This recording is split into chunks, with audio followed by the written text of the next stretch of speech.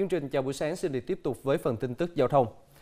Tôi nghe nhiều người than phiền về sự quá tải ở các cảng hàng không, nhất là tại cảng hàng không Tân Sơn Nhất và Nội Bài vào những ngày cận Tết như thế này. Quá tải đó là điều hiển nhiên của các sân bay và để giải quyết tất cả những nhu cầu của người dân, đơn vị khai thác đã phải tìm mọi giải pháp để hành khách đi lại được thuận tiện. Quý vị cần nên lưu ý. Ủy ban An toàn Giao thông Quốc gia, Cảng vụ Hàng không miền Nam và sân bay Tân Sơn Nhất vừa có những hướng dẫn mới đến hành khách để có thể tránh những rủi ro xảy ra dẫn đến việc đi lại gặp khó khăn. Khách đi máy bay của Vietnam Airlines vào qua cửa D1 và làm thủ tục tại các đảo A, B, C, D. Khách đi Jetstar và Vasco sẽ vào cửa D2 làm thủ tục tại đảo G và E, F. Khách đi Jetstar đi Vietjet sẽ làm sẽ vào cửa D3 làm thủ tục tại đảo Y, tại nhà ga Quốc Nội. Hành khách nên chọn các hình thức làm thủ tục và lấy thẻ lên tàu bay phù hợp với điều kiện của mình.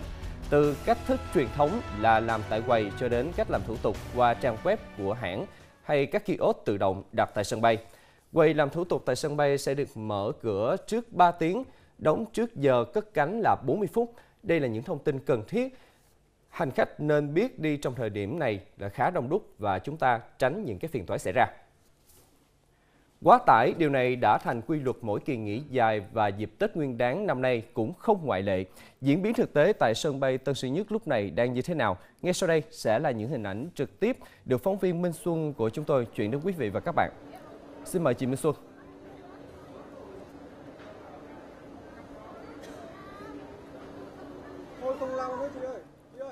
Xin chào trường quay và xin chào quý vị khán giả. Thưa quý vị, đông đúc tại không chỉ tại khuôn viên ờ, của nhà ga Tân Sơn Nhất, kể cả quốc nội và quốc tế, mà ngay cả những đường dẫn của nội ô Thành phố Hồ Chí Minh vào đến sân bay thì cũng gây ra những hành khách đầy những nguy cơ rủi ro. Ung tắc trong những ngày qua khiến cho việc cái thời gian đến à, sân bay thì mất nhiều thời gian hơn bình thường.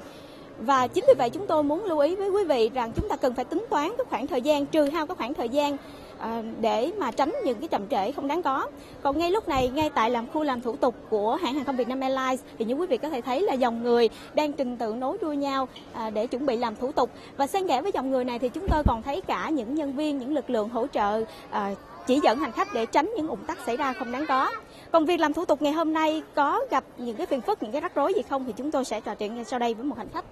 Chị ơi, con xin chào chị. À, chị có thấy là việc làm thủ tục ngày hôm nay thì nó có những gì khác so với ngày thường không ạ? Ờ, khác cũng nhanh hơn, làm thủ tục thì không có rườm rà lắm. Chị đã đến đây trước cái giờ bay bao lâu ạ? Ừ, đến trước 2 à, tiếng. Xin cảm ơn chị rất nhiều. Thưa quý vị, một thông tin nữa đó là chỉ trong cái dịp Tết Bính Thân này, cái đợt, đợt cao điểm này thì hai hãng à, hàng không đã phải tăng hơn 300.000 chỗ ngồi, một con số rất lớn và trong khi hạ tầng vật chất ở các sân bay thì cũng chỉ có vậy để chứng tỏ rằng là các hãng hàng không, các sân bay đang nỗ lực nỗ lực rất lớn để các hành khách có được một cái chuyến đi, những cái chuyến vận chuyển tốt nhất trong cái khoảng thời gian cao điểm Tết Bính Thân này. À, và à, còn những rủi ro khác thì sao? Thì ngay sau đây chúng tôi sẽ trò chuyện với đại diện của cảng hàng không miền Nam.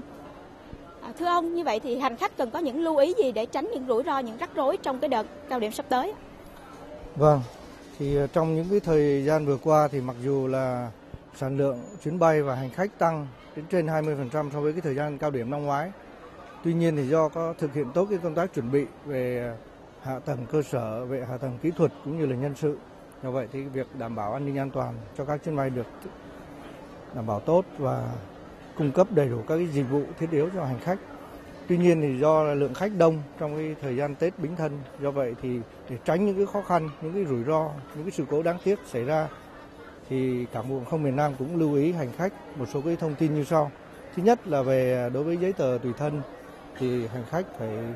chắc chắn rằng trước khi rời khỏi nhà phải mang đầy đủ giấy tờ tùy thân và lưu ý là những giấy tờ tùy thân này thì hợp lệ còn giá trị sử dụng. Thứ hai là về vấn đề thời gian thì quý khách cũng lưu ý là hiện nay các cái cửa ngõ vào sân bay Tân Nhất là dễ xảy ra ùn tắc và đặc biệt là trong những cái giờ cao điểm. Do vậy, hành khách nên đến sân bay nên có mặt trước 2 tiếng so với các chuyến bay trong nước và 3 tiếng đối với các chuyến bay quốc tế. Còn à, khi mà đến sân bay rồi thì quý khách cũng nhanh chóng tìm đến cái quầy làm thủ tục của hãng mình đã mua vé và đặc biệt là đối với những hành khách đi máy bay lần đầu đến sân bay Tân Nhất thì nên chú ý các cái bảng hướng dẫn và nếu mà gặp khó khăn thì nhanh chóng tìm gặp nhân viên hàng không để được hướng dẫn, tránh mất thời gian và trễ chuyến bay. Đối với những hành khách trước đây làm à, thủ tục check-in truyền thống, thì hiện nay thì các hãng hàng không cũng đã có cái thủ tục check-in qua mạng, thì quý khách có thể check-in ờ, trực tuyến tại nhà thông qua trang web của các hãng hàng không, hoặc là khi đến sân bay nếu mà hành khách không có hành lý sách tay thì cũng có thể làm tại các cái quầy self check-in và thậm chí kể cả có hành lý ký gửi thì cũng có thể làm ở cái quầy này và chúng tôi cũng dành riêng các cái quầy để cho hành khách đã làm xong các cái thủ tục tại cái quầy self check-in là đến gửi những cái quầy này. Một cái lưu ý tiếp theo nữa là đối với những hành khách mà sử dụng các cái phương tiện cá nhân thì cũng cần lưu ý là các cái ô tô chỉ được dừng không quá 3 phút tại sảnh nhà ga và nếu mà muốn đậu lâu thì chuyển sang bãi đậu xe của ga quốc tế để gửi. Còn đối với xe hai bánh thì hiện nay do mặt bằng hạn chế do vậy,